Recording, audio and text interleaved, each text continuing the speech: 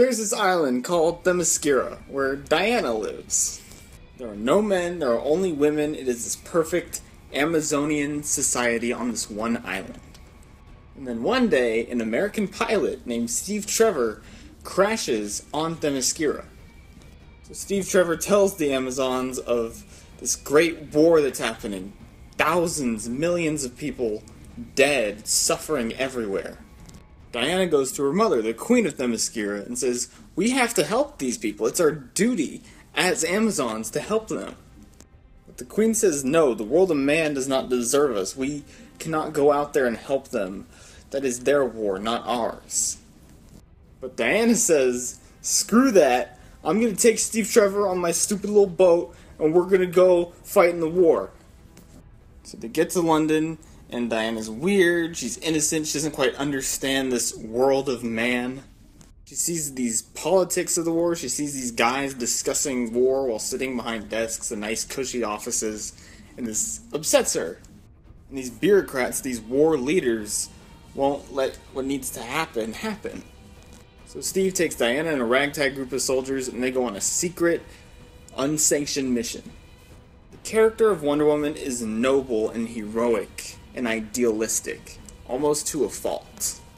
And the character that she is very much fits into this superhero archetype. What the movie does is take this character and put her into World War One, a situation where millions of people were dying and suffering and things were morally gray. And that's where you find the main conflict. You have this mythological representation of good faced with difficult decisions. Sometimes the right thing for her to do is clear, but other times she has to really question what the right thing to do is. And that leads to all these discussions about humanity and war, and it leads to the movie having a really strong thematic center.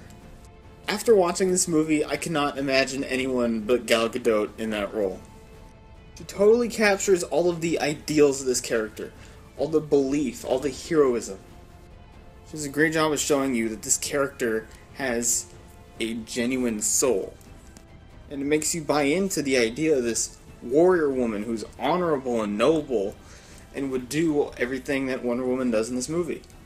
She also does a great job of balancing Wonder Woman's innocence with her intelligence. In Themyscira, they know a lot of stuff. They read a lot about history and language and all this philosophy and all these different things which doesn't quite understand the world of man and the society that is our world. And both the movie and Gal Gadot do a great job of not focusing in on one part of that personality. Chris Pine gives a wonderful and very competent performance as Steve Trevor. Now, in a lesser movie, Steve Trevor would be like, Duh, what's going on? I don't understand anything because I'm a stupid man in this movie where the woman's the main character you know, he'd be a stupid jerk the whole movie, and then at some point he'd turn and become a good guy, and it'd be this stupid, overplayed thing. But that's not Steve Trevor. Steve Trevor is smart, he's able to pick up on things quickly. Everything about his character just makes sense. When he shows up at Themyscira, the way that he reacts to everything feels like how a real person would react. He doesn't freak out, he's just like, oh, this is strange, I've never seen this before. Huh, that's weird. He's just a character who does what he has to do. He's smart and capable and charming. He has layers. He's a bit of a complex character. He does some things that are kind of not right, maybe. He even calls himself a murderer, a liar, and a smuggler. He's just a really good character that Chris Pine plays extremely well. You know, you might like to think, oh, Chris Pratt could play that, or Chris Evans could play that.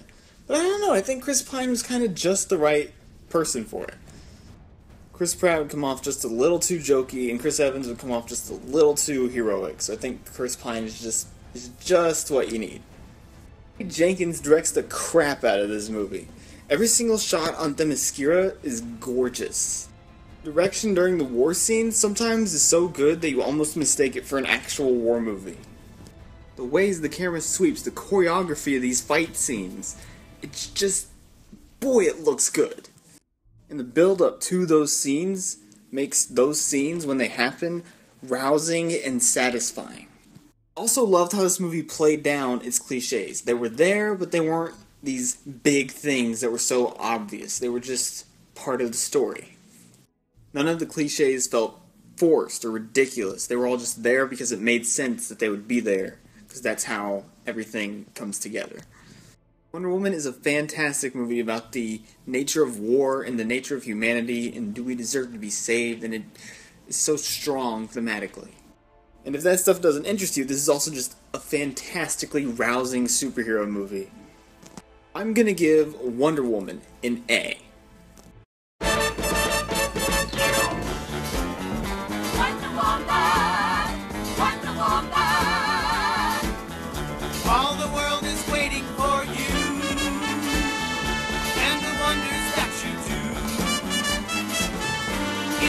Your fighting for our rights, and the all red, white, and blue.